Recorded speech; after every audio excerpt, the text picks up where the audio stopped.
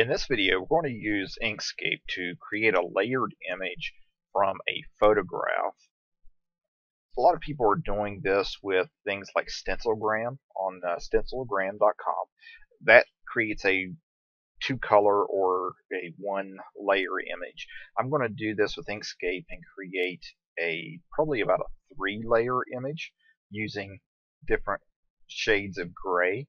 And I'm going to begin by just dragging and dropping my picture into Inkscape. And I'm going to choose Embed. You could also go to File and Option to open this as well. You can zoom in and out on Inkscape on your keyboard by using the minus and plus keys. And if I adjust the size of the picture, I want to hold the Control key while I use the corner arrow, and that allows the width and height perspective to remain proportional. Now with the image selected, I'm going to go to Path, Trace Bitmap,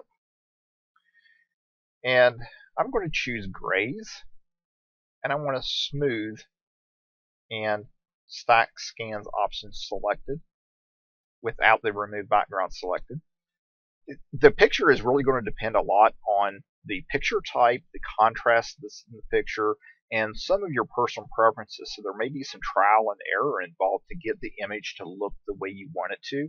I usually find that most images scan best at somewhere between 5 to 10 scans. And so this picture I'm going to do 5 and I'm going to click update and I should see a picture that resembles the image that I have on my system. And when I click OK, you'll notice that as opposed to other videos, this takes just a few seconds to do the more scans you have, the longer it will take. If you have 10 or 12, it may take 5 seconds or so. Now I'm going to close this box as it's no longer needed. And my vector is on top, so I can move that over. And I can get rid of my original image. Now, with the image selected, go to Object Ungroup. And now we can drag out our various layers. I'm going to zoom out just a little so that we have room to work and we can see all of our different layers. Most of the time I do not keep all the layers. As you can see this bottom layer is a solid gray color so I'm just going to get rid of that one by hitting the delete key. And I'm going to try to create three different layers with this image. It's important not to, in my experience, not to use the object uh, raise the top or lower to bottom or raise or lower functions because but due to the shading you want these layers to remain in the order that they that the system creates them from the image. And as we move these over top of each other we'll see that the different layers make up different parts of the picture. And sometimes we want to move these around. I'll move them around to see which one gives me the best separation and look. And as you can see, if I put this one on top, there's not a lot of difference between it and a couple of the other layers. I'll zoom in. And you can see that there's just a little bit of space between the layers. And I want a little bit more contrast than that. So I'm going to move that one. I'm going to use this one. And let's say we move this one into place along with the black. And there you see what I mean by trial and error, error because now I have a good separation between the three layers. Now, if your your layers have the same width and height borders, you can highlight all of the items hit Control Shift A for align. And then you can use the vertical and horizontal center to line them up perfectly. Sometimes when you separate layers, the borders along the edges are not the same once you have moved them and separated them, so you can't do that. You have to place them visually. But in this case, I'm able to use the alignment tools to layer them properly.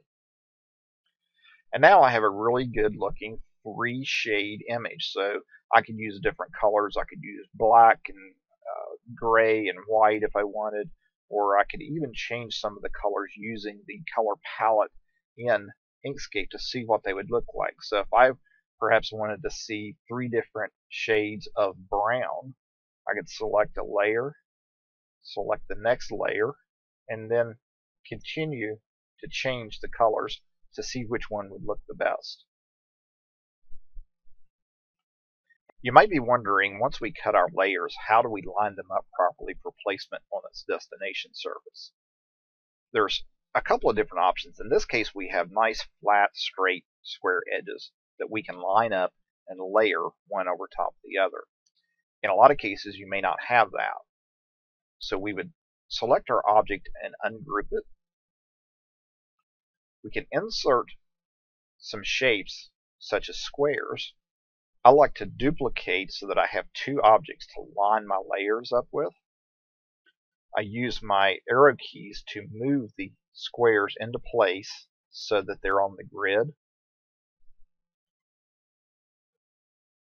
Hold down shift and select both and then attach them.